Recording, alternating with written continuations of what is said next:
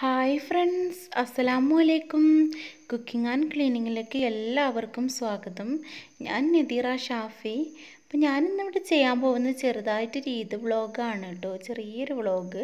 പ്രത്യേകിച്ച് റെസിപ്പികളൊന്നും കാണിക്കുന്നില്ല. ചെറുതായിട്ട് കാണിക്കുകയാണ് കേട്ടോ. അപ്പോൾ ഇത് എന്റെ മോളെ ഡ്രസ്സാണ്. എന്റെ ചെറിയ മോളെ ഡ്രസ്സാണ്. എനിക്ക് മൂന്നാളാണ്. മൂത്ത രണ്ട് പെൺകുട്ടികളും. ഇളയത് മോനുമാണ് ഇത് മോന്റെ ഡ്രസ്സാണ്. കുട്ടികളൊന്നും കൊണ്ടുപോയിട്ടില്ല. ഞങ്ങൾ തന്നെ പോയി എടുത്തത് മോളെ ഡ്രസ്സാണ് മൂത്ത മോളെ ഡ്രസ്സ്. ഒക്കെ ഷേപ്പ് ചെയ്തെടുക്കണം. കുട്ടികളൊന്നും കൊണ്ടുപോയില്ല. ഞങ്ങൾ രണ്ടുപേരും പോയി എടുത്തത് കുട്ടികളെ കൊണ്ടുപോകാൻ പറ്റില്ല. കൊറോണേന്റെ പ്രശ്നമൊക്കെ ഉള്ളതുകൊണ്ട് കൊണ്ടുപോകാൻ പറ്റാത്തതുകൊണ്ട് കൊണ്ടുപോയില്ല. പിന്നെ ഈ നഖത്തിൽ മൈലാഞ്ചി നഖത്തിലിടാൻ മൈലാഞ്ചി റെഡിയാക്കുന്ന തിരക്കാണ്. ഇൻഷാല്ല അതിന്റെ ഡീറ്റെയിൽ ആയിട്ടൊരു വീഡിയോ ഞാൻ ഇടുന്നുണ്ട്. അപ്പോൾ എനിക്ക് ഷാഫിക്ക ബീഫ് കൊണ്ടുവന്നിരുന്നു. അപ്പോൾ അതൊക്കെ ഒന്ന് കട്ട് ചെയ്ത് തരികയാണ്. അപ്പോൾ ഞങ്ങൾ സുന്ദരിപ്പൂച്ച ബീഫിന്റെ മണം കെട്ട് കരയാണ് കേട്ടോ. ആ സമയം കൊണ്ട് മക്കൾ മൈലാഞ്ചിയൊക്കെ ഇട്ട് നല്ല റെഡി ആയിട്ടിരിക്കുകയാണ് അപ്പോൾ മോളെ മൈലാഞ്ചി ഉണങ്ങി എന്ന് പറഞ്ഞപ്പോൾ ഞാൻ കുറച്ച് ചെറുനാരങ്ങനെ നീരൊഴിച്ചു കൊടുത്തു. നമ്മൾ മൈലാഞ്ചി ഏത് മൈലാഞ്ചി ആണെങ്കിലും ഉണങ്ങിയിട്ടുണ്ടെങ്കിൽ നമ്മൾ വെള്ളം നനച്ച് കൊടുക്കുന്നതിന് പകരം കുറച്ച് ചെറുനാരങ്ങനെ നീരൊഴിച്ചു കൊടുക്കുകയാണെങ്കിൽ നന്നായിട്ട് മൈലാഞ്ചി ചുവന്ന് കിട്ടും കേട്ടോ. അറിയാത്തവർക്ക് വേണ്ടി പറഞ്ഞതാണേ. ഇപ്പോൾ രണ്ടാളും അതാ മൈലാഞ്ചിട്ടൊക്കെ റെഡി ആയിട്ടിരിക്കുകയാണ്. മോളത് റെഡി ആയിട്ടുണ്ട് മൂത്ത ഞാൻ ആ സമയം ശർക്കര ഒന്ന് ഉരുകാൻ വേണ്ടി വെച്ചു. മക്കൾ രണ്ടുപേരും മൈലാഞ്ചിയൊക്കെ ഇട്ട് ഇരിക്കുകയാണ്. ഇനി പെട്ടെന്ന് തന്നെ നെയ്യപ്പത്തിന് വേണ്ടി ഒന്ന് അരച്ച് വെക്കണം.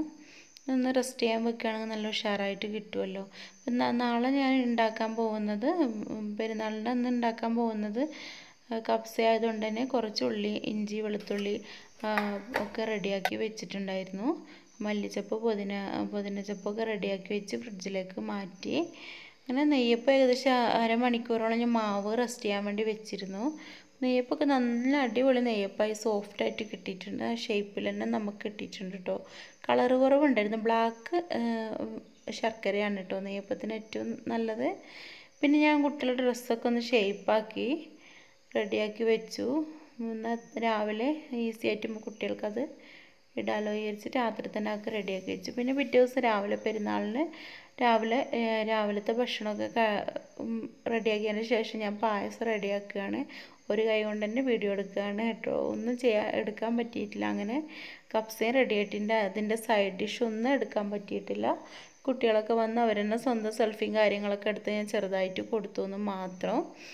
പിന്നെ ഞങ്ങൾ നേരെ തറവാട്ടിലേക്ക് പോയി. പിന്നെ അവിടെ ഞാൻ ഇവിടുന്ന് അങ്ങോട്ട് കൊണ്ടുപോയ പായസം അവിടെ വെച്ച പായസമൊക്കെ കൂടെ എല്ലാവരും കുടിച്ചു. പിന്നെ അവിടെ ഞങ്ങൾ ചിക്കൻ ബിരിയാണി ആയിരുന്നു ഉണ്ടാക്കിയിരുന്നത്. അങ്ങനെ അവിടെ ചിക്കനൊക്കെ പൊരിച്ച് അവിടെ വിറകടുപ്പിലാണ് എല്ലാം ഉണ്ടാക്കുക തറവാട്ടിൽ ഉമ്മക്ക് നിർബന്ധമാണ് വിറകടുപ്പ്. അതൊരു പ്രത്യേക ടേസ്റ്റാണ് കേട്ടോ കുറച്ച് ടൈം നമ്മൾ ഉണ്ടാക്കാൻ വേണ്ടി കുറച്ച് ടൈം പിടിക്കുകയാണെങ്കിൽ വിറകടുപ്പ് നല്ലതാണ് ഒരു ടേസ്റ്റാണ് ഉണ്ടാക്കിയിട്ടുണ്ടെങ്കിൽ. ഉമ്മ മുളക് പറിച്ചിട്ട് അടുപ്പിന്റെ അവിടെ വെച്ചിട്ട് ആ ചൂടിൽ ഉണങ്ങിക്കഴിഞ്ഞാൽ ചമ്മന്തി അരക്കാനും കറിയിലേക്ക് ഉപ്പേരിയിലൊക്കെ വറവിടാനൊക്കെ എടുക്കും. അങ്ങനെ ബിരിയാണി റെഡി ആയിട്ടുണ്ട്. പിന്നെ താത്ത ഐസ്ക്രീം ഉണ്ടാക്കിയിരുന്നു. അതിന്റെയൊക്കെ റെസിപ്പി ഞാൻ ഇടുന്നുണ്ട് ഇൻഷാല്ല അടിപൊളിയായിരുന്നു. അങ്ങനെ നമ്മളെ ഈ വർഷത്തെ ഇത് ബലിപെരുന്നാൾ ഉഷാറായിട്ട് കഴിഞ്ഞു. അപ്പോൾ ഇനിയും പുതിയൊരു വീഡിയോ ആയിട്ട് ഞാൻ വരുന്നത് ഇതായിരിക്കും. അതുവരേക്കും ബായ് അസ്സാം വലൈക്കും താങ്ക്സ് ഫോർ വാച്ചിങ്